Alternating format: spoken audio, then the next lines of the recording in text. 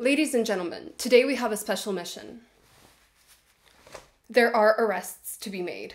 What will we be arresting, you might be curious? Well, a few weeks back, I asked you to send in what you thought were the big main crimes that the Netflix TV show has committed against The Witcher, the most important series in my life. I got a lot of very good responses, and today we'll be deciding whether they deserve the death sentence, aka if they actually break the TV show and the TV show cannot function with them, or if they can just get off with a warning, which in my head is like, this isn't great, but you can still make a 10 out of 10 TV show with this in place. Before we get into it, I'm really 50 50 on if this cap is gonna stay on the entire time. It does have Policja with the Polish eagle on it. So again, authenticity proving to you that I'm Polish, right? Really blew the budget on this episode, didn't I? Crime number one. Not every short story is included in the Witcher TV show. In my opinion, I don't think they could have ever included every single short story in season one. I do not think that all of them are necessary for the adaptation, especially the ones that are more self contained, like, for example, the Little Sacrifice story. Even though I really, really like that story, it does, it's not really necessary to understanding core things about Geralt and the world, uh, even though it is very cool and I love Essi Daven. But there are other short stories which, uh, not including them, fundamentally changes The Witcher. For example, the first Brokilon short story where Ciri meets Geralt, but I'll get into that a little bit later. So in my opinion, this is the first one that's gonna go into warning because again it, it's really about the selection. The next crime that i'll go over is the lack of the brokilon sequence. Uh, this is the sword of destiny short story that i'm referring to right now which is where ciri and geralt first meet in the brokilon forest. I know someone in the comments will be like, oh, Wera, but they did try to include it. After all, Ciri in season one does go to Brokilon and meets Dara and and Mousesack, who is not really Ma- because he's the evil Doppler that's trying to kill her, is going after her. I am not counting that at all. Because what is the point of the short story? Well, the point of it is to make you, the reader, care about this random child does this sequence in the TV show do anything to make us care for Ciri? No, absolutely not. We're just following her running through the forest, and it's really boring because we want to get back to Geralt. We don't care about this random kid. And that's why it's so important for us to see first see Ciri through the eyes of Geralt because this short story is one where at first Geralt is like, "Oh my god, what is this little princess doing in this forest where she is going to be killed? I'm taking her back to her grandmother. As the story progresses, we start to see Geralt really I don't know, start to care for Ciri. The moment when he has to tell her a bedtime story oh man, that's just so funny and it's so cute. And it's so foundational to understanding why Ciri ends up so attached to Geralt and why he becomes her safe place. I feel like not including this can very, very easily break uh, the entire show. That being said, they could have somehow included elements of this, but not included the full short story. So they tried to remedy this in season two, uh, mostly at Henry Cavill's urging. So thank you, Henry Cavill, they didn't succeed, but I still feel like they could have if they had more competent writers or like a better uh, show direction. So, for this reason, I'm going to put this into life in prison because, again, it's not something that will immediately kill the show, but it is something that you better know what you're doing if you're omitting this uh, short story, and they didn't. Okay, no, you know what? I'm I'm taking it off. It's way too hot for the hat, but it's gonna be it's gonna be right here.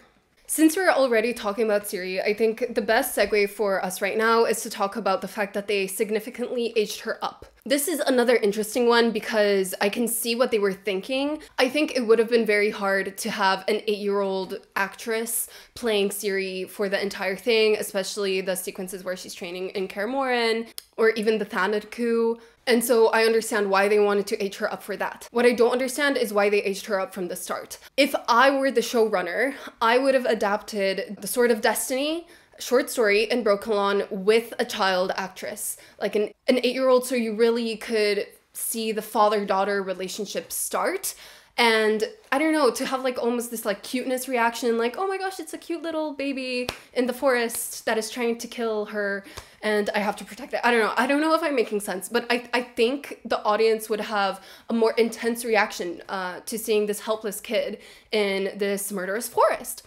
instead of a teenager running around. Later on, I'm fine with the age up. I think that concluding the season with the something more scene where Geralt and Ciri find each other after so many years was the correct choice. Too bad that we didn't have the foundation for the emotional punch that that could have packed. But I think it would have made sense if then at the very end we see the aged up Ciri and Geralt finding each other and they're like, oh my gosh, like we found each other through these terrible circumstances, but we're here together, so it's going to be okay. Uh, I also don't think that Ciri had to be a main character through the main season, through the first season. In terms of crime, it's something that's much easier to mess up and it's something that if you do mess up, you will fundamentally change the point of the story. And so, for that reason, I'm going to put it in you're getting more than the warning, you're spending the night, but then I'm letting you go. Speaking of Ciri, I have another crime that uh, kind of ties into this. And it's why is suddenly Ciri so competent and such a badass fighter, you know, killing the monster on the ship, blah blah blah, handling herself in the what they attempted to do with the Beltane sequence. That is a worse crime than aging Ciri up. So I'm telling you right now, you're getting a few years for that one. And it all ties back to Ciri's story being a loss of innocence story. Why is this important? Well, in the infamous uh, episode of Ciri being stuck in the desert, which got a lot of hate, but I hate to break it to you, it is it was always going to be a pretty boring episode because it's a pretty boring chapter. And it was quite book, well, it was more book accurate than a lot of the other stuff that the show did, which really isn't saying much. But it especially didn't work because we're not scared for Ciri. Again, in the book, she's a literal child, so you are more terrified for her as she's wandering the desert and, you know, being almost killed by uh, the monster and dying from like heat stroke and stuff like that. Now, I still think that this could have worked with an aged up Ciri, but this aged up Ciri shouldn't have been shown to be so competent. She should have never been shown to be at a very comparable level to Geralt. For example, in the Shaerrawedd sequence, congrats to Freya Allan. She looks great. She handles the choreography very well. In my opinion, Ciri should have been shown to struggle a bit more because we know that no matter what she comes up against, she is going to be able to handle it because she has killed monsters before. I think that really deserves a few years in prison. To finish up kind of talking about Ciri, what about the other Witcher schools? In the segments where you play as Ciri in The Witcher 3, the Wolf School medallion changes to a Cat School medallion. And if you don't know why that is, it's essentially because Ciri finds a Cat School medallion a short time after the desert, I believe. Now, I don't know if they're going to give her a Cat School medallion in the TV show in season 4, or if she's gonna just find a random Wolf School medallion. I mean, they already changed the fact that Coën is from the Wolf School when he's supposed to be from uh, the Griffin School in my humble opinion, it was so stupid of them to erase the other Witcher schools. From a world building standpoint, I think it makes Witchers way less interesting. But from a marketing standpoint, you could have sold so much merch. You could have, you know, done the whole quiz of which Witcher school are you? Oh, now that you found out that you're from the school of the whatever, you can buy the medallion for X amount of money. I mean, Harry Potter has done this with the Hogwarts houses, and it's been a huge success for them. So, why didn't we do this? Don't know. Truly, I thought Netflix wanted to make money, and I'm baffled by some of their decisions. I'm gonna put this in you're getting a few years. Keeping with the Witcher theme, why is Kaer a brothel? Why? It is supposed to be a secret fortress in the mountains that blends in and that you're not able to find easily. Uh, in Blood of Elves, book three, we start the story with Triss going through these winding paths in the mountains and going to find this fortress. And she stumbles upon Ciri as she's uh, practicing on the trail. It's been a while since I reread Blood of Elves, but if I remember correctly, there were descriptions of Kaer using the landscape to kind of blend into the mountains and hide so that if you don't know what you're looking for, you won't just stumble upon it. Well, the Witcher TV show decided to uh, host a party there and make it a brothel with, mind you, a lot of Witchers. I truly want to know what was going through the heads of the writers when doing this. Also, in what world would Vesemir allow this? Yep, this is another one that changes something about the Witchers, who are supposed to be super mega vigilant because of the catastrophe that happened a few years before. Um, that event was actually the inspiration, uh, the Vesemir anime, but when I say inspiration, I mean super, super loose inspiration, which is why I don't really talk about the Vesemir an- anime. But yeah, Kaer being a brothel, why? Which takes me to the person whose idea it was in the TV show to make Kaer a party frat house for the night. And it was uh, who else but Eskel the tree. As a fan of Eskel and his goat, which again, you could have made cute goat plushies, but you didn't think of that, did you? Uh, R.I.P. Bleater, you would have loved to be a mascot on uh, my bed. Eskel is one of the fan favorite characters and choosing between the two main Witchers that people coming in from the video game would know about, uh, and those two being Lambert and Eskel, I don't see why you would choose Eskel to be the dick instead of Lambert, because I mean, we all know our favorite poem, Lambert, Lambert, what a dick. So I don't understand why Eskel was chosen to be the dick instead. Maybe it's because in the book he really terrifies Ciri because of his facial scars, but Still, I don't think that means that he should have been turned into a tree. I think it was just done for shock factor because they had loads of other unnamed witchers that they could have done this with. But no, they do it with Eskel just to what? Piss off the fans, I guess. I don't know. And then he's eaten by wolves, right? You know the saying, no witcher has ever died in his bed. Well, Eskel was the first one to die as a tree.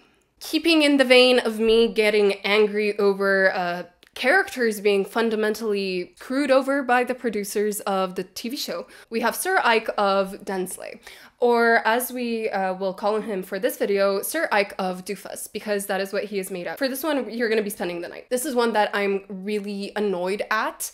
Uh, but I guess if you needed to have some sort of comedic relief and Yarpen Zigrin wasn't enough for some reason, I, I guess you could have done this.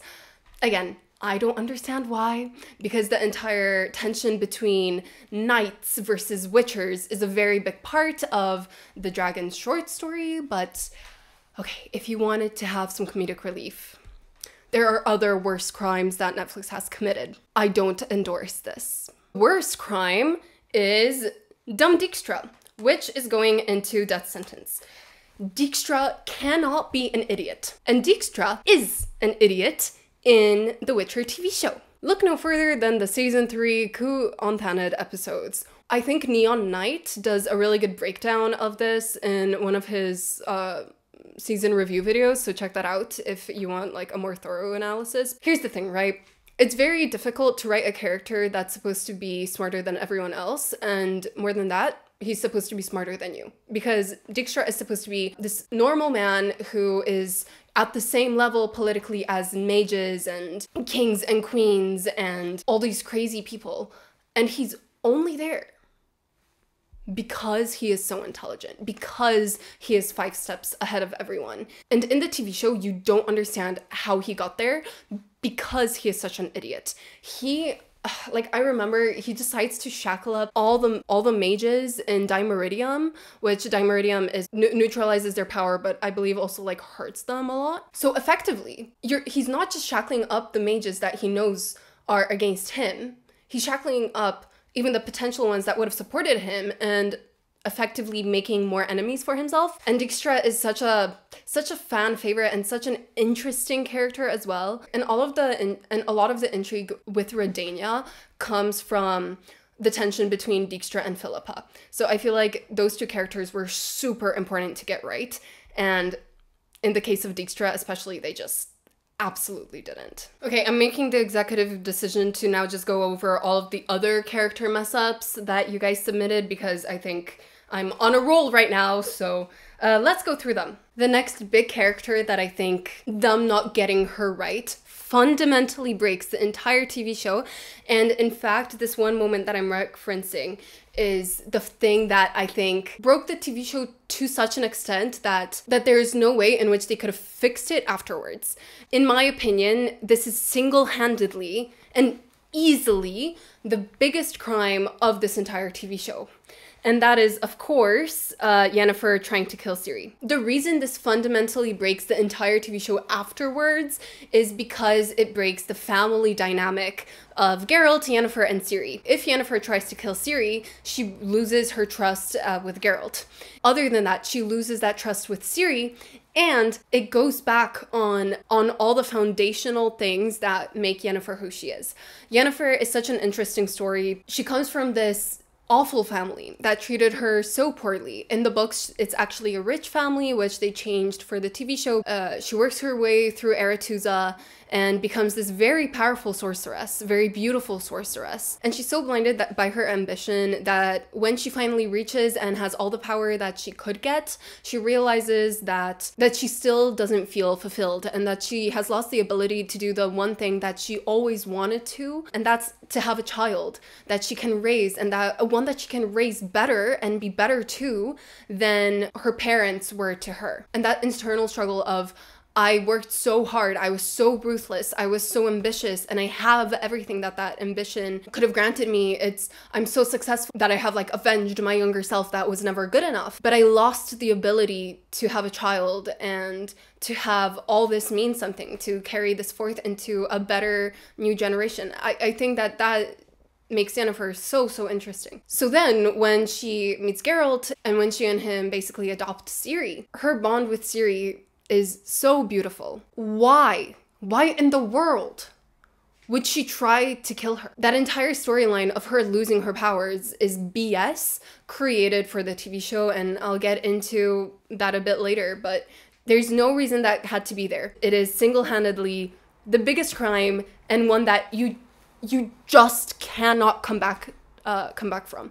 Sticking with uh, Yennefer for a second there, why is she attributed with other people's accomplishments? It's almost as if the writers don't understand who Yennefer is, and so they're like, well, she's clearly not interesting by herself, so we're gonna give her the accomplishments of other people to make her more interesting, I guess. Which to me is so ludicrous because you're making other characters worse for it. The things that pop into my mind are Yennefer for some reason creating the lodge which is really ironic because in the books she's pretty much the one sorceress uh, that is uh, against joining the lodge. Philippa Eilhart is the one who originally creates the lodge. In the books, uh, Vilgefortz is the hero of Sodden Hill. In the TV show, it's Yennefer, which this is the event that leads her to losing her powers for some reason. So again, why did we do that?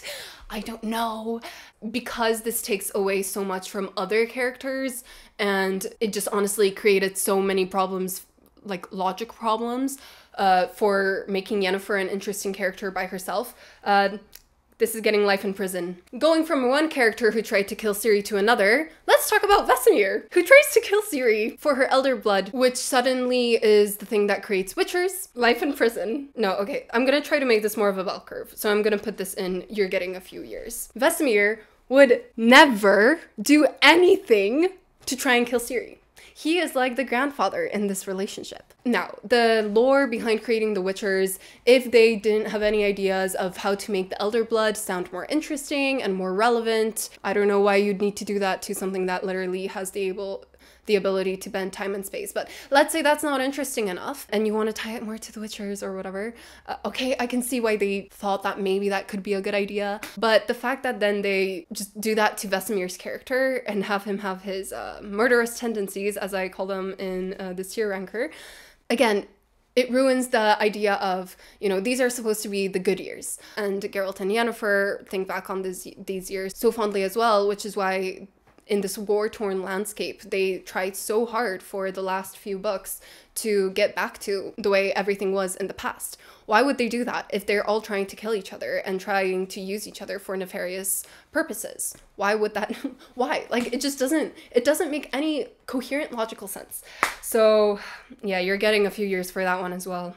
Speaking of Witchers, Geralt is suddenly a silent brute. For those who don't know, the books are very dialogue dependent, and Geralt is a very poignant philosopher in um, at some points. But yeah, Geralt is very intelligent and he's very observant. And as I'm rereading The Last Wish for the fourth time, it is like even more apparent to me But then in the TV show, we get the uh, Henry Cavill. This is another thing that he really rallied for. He wanted Geralt past season one to be a bit more verbose, to have more things to say. Uh, so for that reason, because it gets better, I'm putting this in You're Spending the Night. Speaking of Dandelion and Geralt, uh, their friendship is not a friendship in the TV show.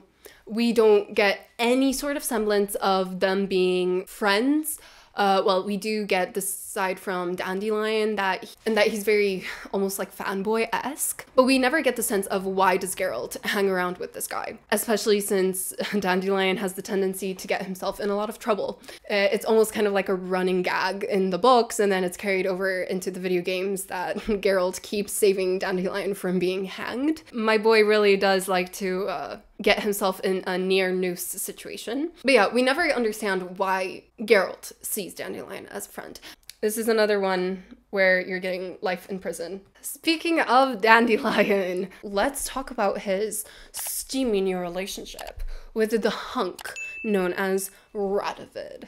A big point of The Witcher is kind of the subversion of a lot of typical fantasy tropes. Sapkowski Sapkowski was very well versed in the literary canon, especially like the fantasy canon.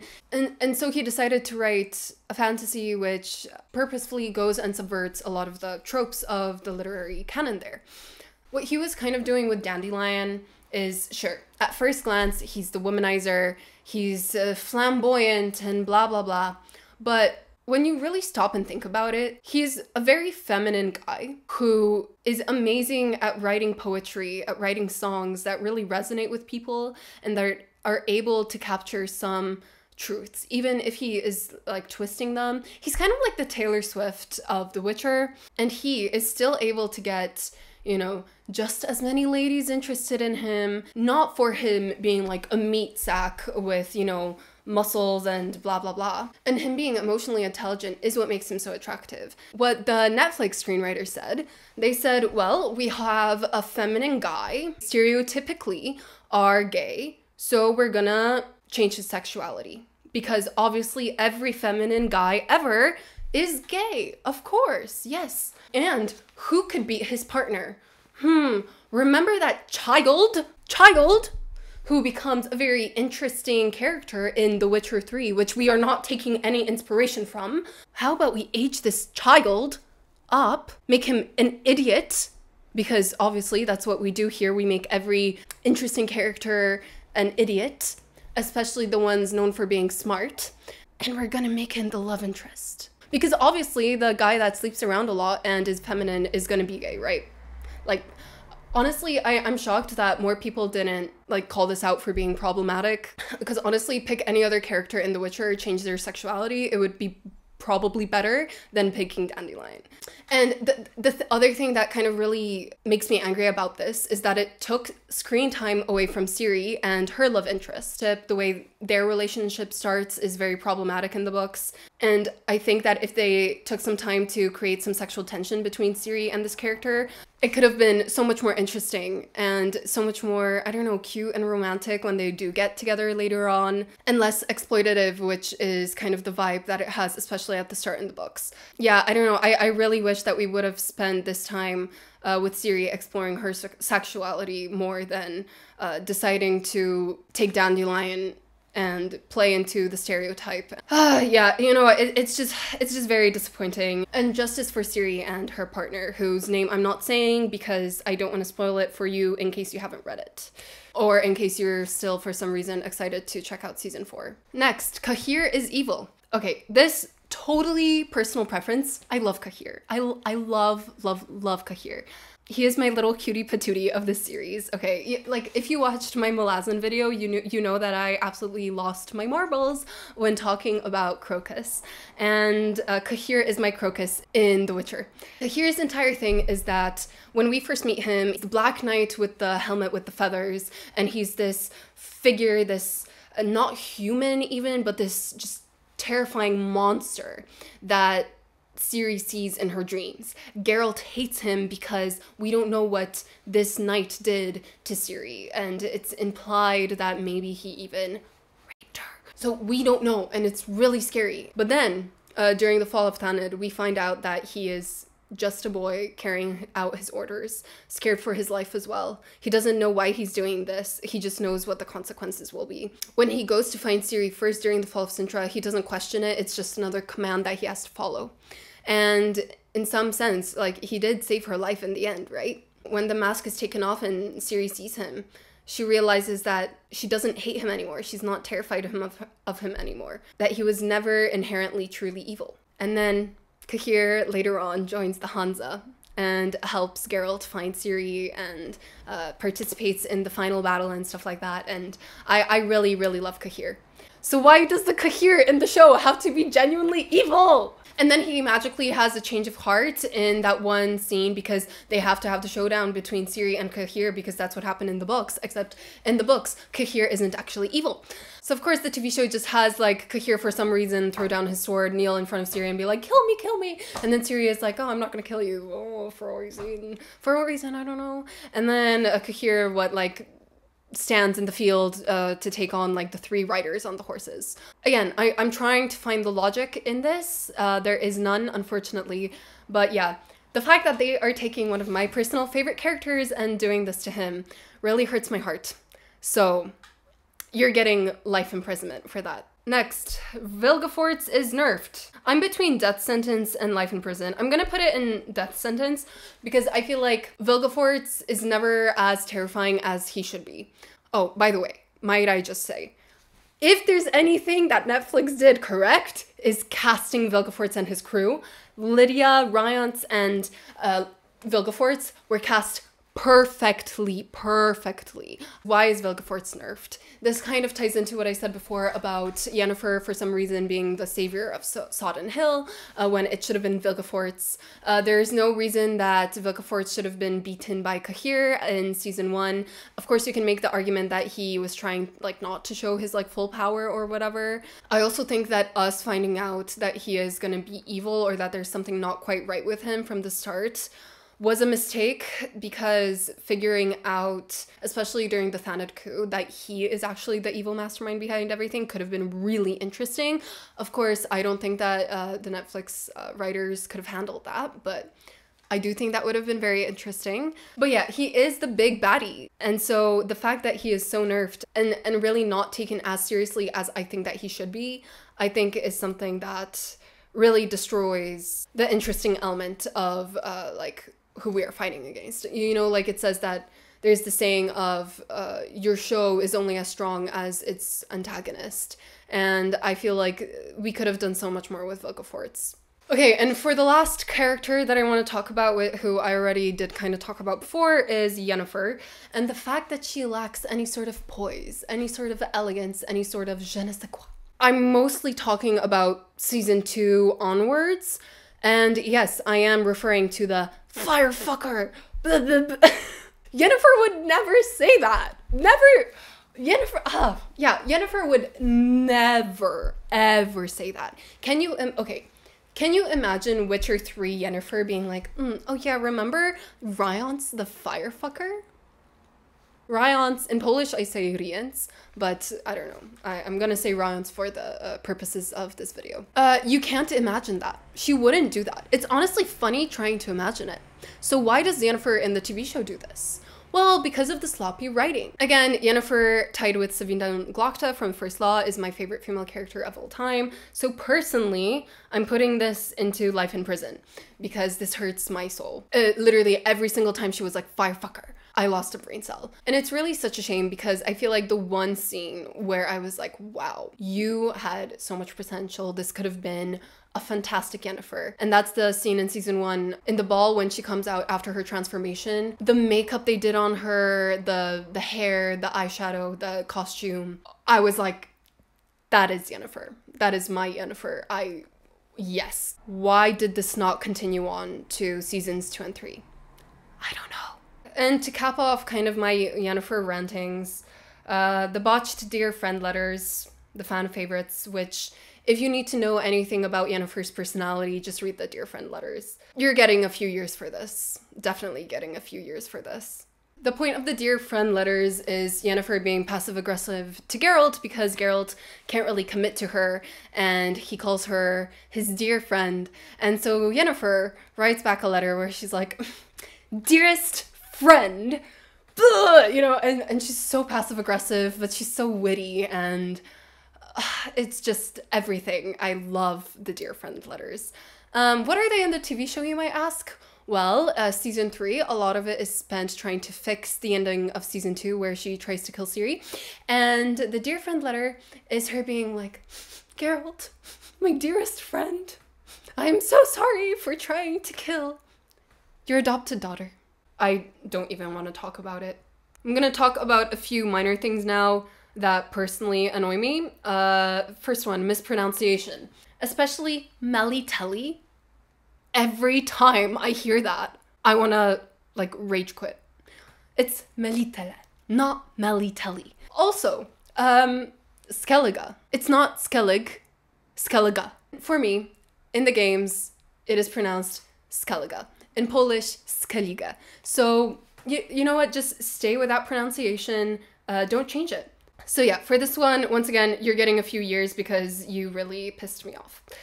Another thing uh, the fact that they keep saying, Destiny, Destiny, Destiny, Destiny will unite them. Uh, they even had like the posters for one of the seasons being like destined to whatever, blah blah blah. I think that they fundamentally don't understand the books because the point is that yeah, everyone harks on about destiny, but in the end, destiny isn't enough.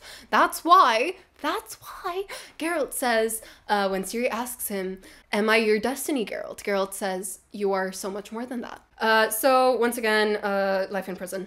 Next, uninspired costumes. This one, I know that in season one, there were uh, communication issues between the showrunner and the costume designer.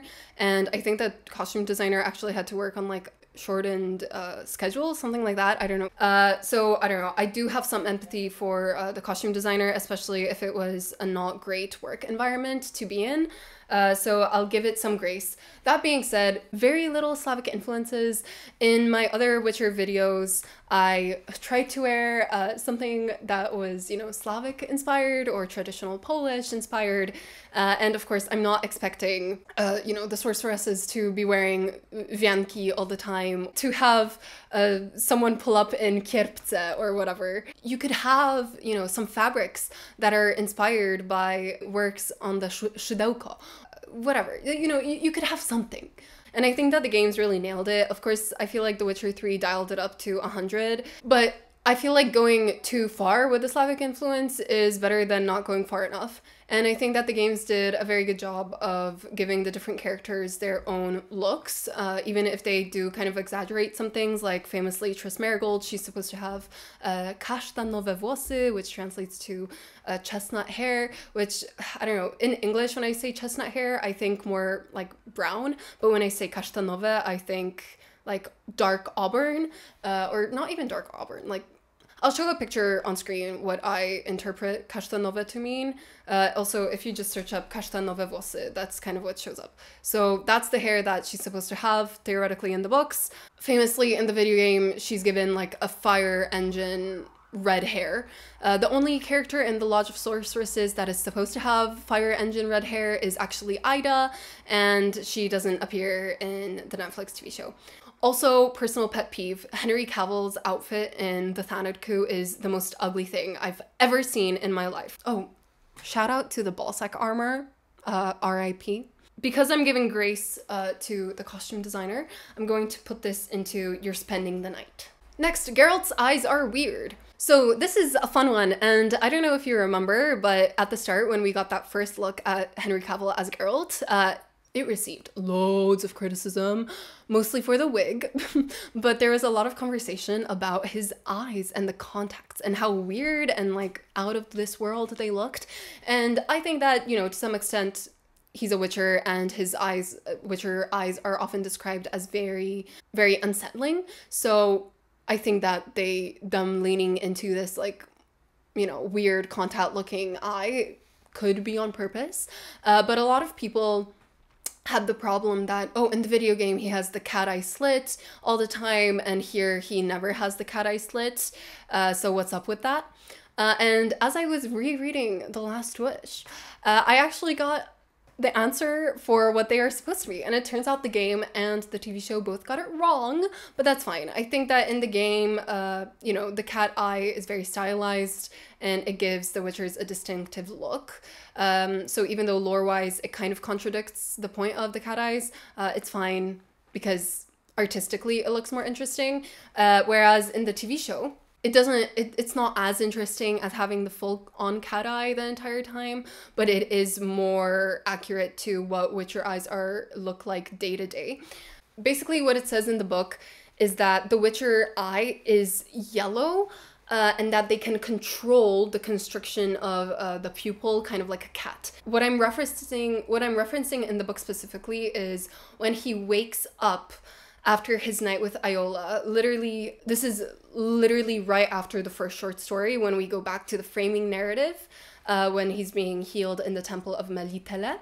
And he wakes up and it's he's described as shielding his uh, shielding his eyes from the sunlight and that it's an instinct or and that it's a reflex that he never got rid of despite not needing it because he could just constrict his pupil like a cat and block out the sunlight that way. What I'm getting at is the pupil does both. Uh, this is just gonna go into warning because you know you could make the eyes look a bit too out of this world and like look really stupid, but I feel like they handled them quite okay. Oh, the no Slavic look um, with the costumes and stuff, I kind of touched upon that already. Uh, I feel like the uh, architecture, which I touched upon in my Witcher ranking video, um, that was really such a pity. So, since I already kind of talked about this already, I'm going to put this into Life in Prison. And because I already talked about the Witcher elder blood creation thing when I talked about Vesemir's murderous tendencies, I'm gonna put this in uh, You're Getting a Few Years as well. Okay, now I do have to talk about this because there's just no way I can. I know some people would bring this up in the comments if I didn't put this in, so I'm going to talk about it now.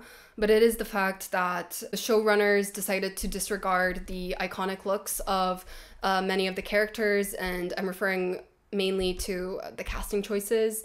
Uh, like I talked about already, there was a lot of controversy when Anya was cast. There is a lot of talk also around Fringilla's casting and stuff like that. This cast is very competent. They could have had a 10 out of 10 Witcher TV show with this cast. It was a matter of how they were written. Some casting choices that I agree with, uh, some casting choices that I disagree with. For example, despite Philippa being white in the books, I think that the actress that they chose has the charisma, the facial expressions, the presence on screen that Philippa Eilhart should have. I also think that she is always styled very well, you know, in the owl feathers and stuff like that. And I think that despite not matching what she is described as in the books, that actress for me 100% works as Philippa. I think she's fantastic. I think that the Fringilla Vigo actress, she's fine uh, by herself. I think Anya works as Yennefer as well. But later on in the books, uh, Fringilla has to look pretty much like Yennefer's twin. So I think that if they wanted to do the race swap, either cast two um, African American actresses or cast two actresses of Indian descent because they just they have to look very similar. And then you have some casting that like race wise was I guess correct, but I think was the absolutely incorrect choice. For example, Foltest. I'm so pissed off at who they cast for Foltest. Again, no hate to the actor. Get your money, King. Good on you. But man, Foltest is supposed to be young, handsome, intelligent, and instead they cast an older actor and wrote Foltest as being a bumbling fool who deserves no respect that's just so stupid to me because because that's so antithetical to everything that Foltest is. Uh, Foltest is one of the only kings uh, that Geralt actually respects at any point in the Witcher series. Uh, same thing with Villentretenmerth. I don't understand why uh, he was aged up. Dragons are revered in Zerrikania. Zerrikania is African inspired. I, I feel like a good choice for representation in the TV show would have been to cast uh, an up and coming young black actor for that role, uh, especially since, again, Villentretenmerth is such a fan favorite. He is so charismatic, and his what he says to Geralt and Yennefer sticks with them through the rest of the series. So I think it would have been a really good episodic highlight for an up and coming black actor. Again, I don't really want to talk about this. I don't want to get too political on this channel, but I knew that if I didn't say anything, people would write comments about it anyway. So yeah, uh, I'm putting this into warning because again, we could have had a 10 out of 10 TV show with this cast. And I think that bullying the cast is not okay it truly is the writer's fault and the showrunner's fault for writing these characters incorrectly or styling them wrong, as I already kind of said. Okay, let's try to speed through these last ones because this video is getting long enough and it's really hot. I don't know if you can see uh, the amount I'm sweating. Let's go over the geography problems. The first problem is everything kind of looks the same uh, geography wise, and people are just teleporting pretty much across the entire continent. You're getting a few years for that.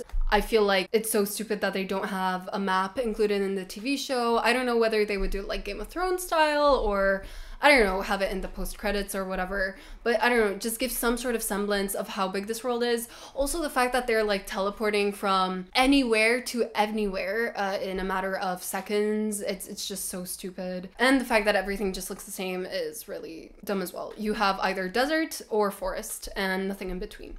Next, Magical areas look boring. Life in prison, uh, especially Brokilon, is supposed to look like this jungle with these magical dryads. Dude, if Gamora can look good with her green skin in Avengers, then I'm sure that you can body spray paint a few of the actresses in the background. If that messes up with your green screen, guess what? There are two other skin colors dryads can be yellow or brown. Put some glitter on the actresses to make them look shiny. I don't know. Uh, I'm sure you can find some body glitter for fairly cheap or give them that weird Galadriel effect where she's super shiny. Also, magical areas. Why is Dol Blathanna a desert? Don't know. It's supposed to be the Valley of the Flowers. Well, it's like the Valley of the Shrubs. Not very interesting. Continuing on with that, dwarves and elves have no separate identity. We get a little bit into the elves with Shaerrawedd finally being shown, but again, uh, the entire story of Falka is kind of twisted. Dwarves, I don't even think we ever heard of Mahakam in the series. If we did, we didn't really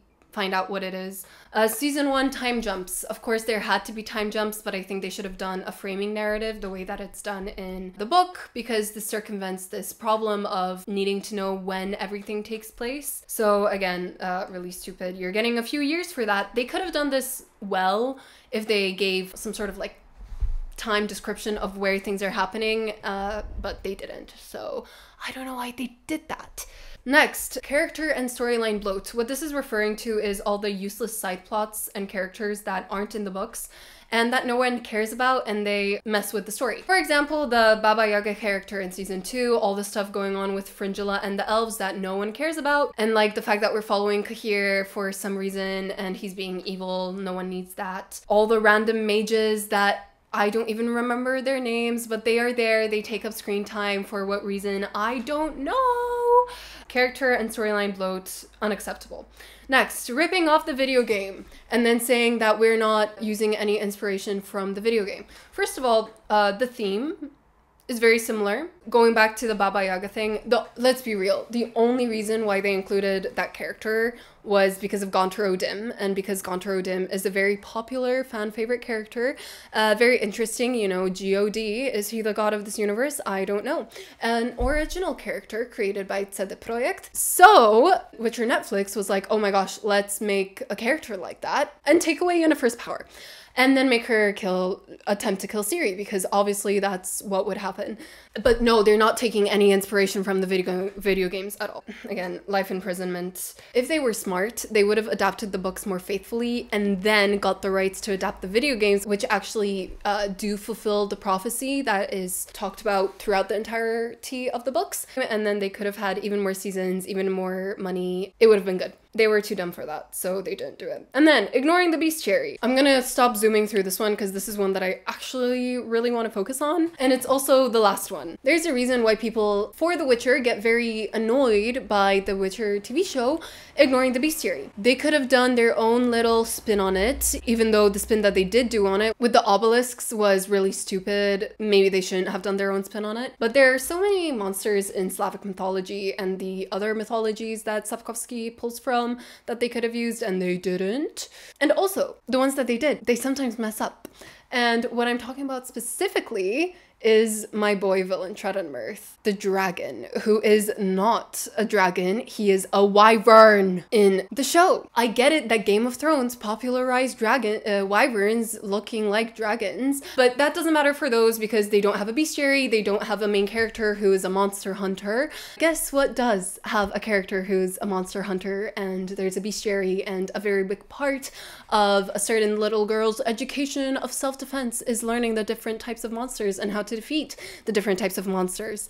Um, yeah, it's The Witcher. So they should have followed the bestiary a little bit better. And I'm not saying that they should have just taken the video games bestiary, but do some research about these creatures or whatever. Uh, dragon dragons, the way that they're differentiated in The Witcher is that they have four legs and then they have the wings. First off, Villentretenmerth's design is really ugly and stupid and not imposing, not majestic, and he is supposed to be both of those things. And then second of all, uh, it's a wyvern. It's a wyvern. Uh, also, uh, in the wyvern battle scene that Ciri uh, does later on, that could have been such an epic scene. It's such a good scene in the books where she's in the arena and blah blah blah, and the wyvern comes out, and and in the TV show, it's just in like some back alley, and it's like this little thing in a cage. Also, if you didn't have the CGI budget to create like a cool imposing dragon in season one, you could have kept Villentretenmerth in the shadows. You could have just done a head. So not adhering to the bestiary, in my opinion, especially since this is one of those things that really separate, separates The Witcher from uh, its contemporaries,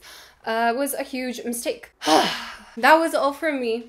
I hope you enjoyed my breakdown of the crimes of Witcher Netflix. If you enjoyed this type of video, then be sure to like, comment, and subscribe. I love reading comments, discussing things uh, with you. I try to reply to as many as I can in the week that the video has been published. I'm sure that there are some problems that with The Witcher that I missed. If there are any more that you'd like to me to discuss, then maybe I'll do a part two of this video sometime in the future. Uh, anyways, that's all for me, and I hope that you enjoyed this video.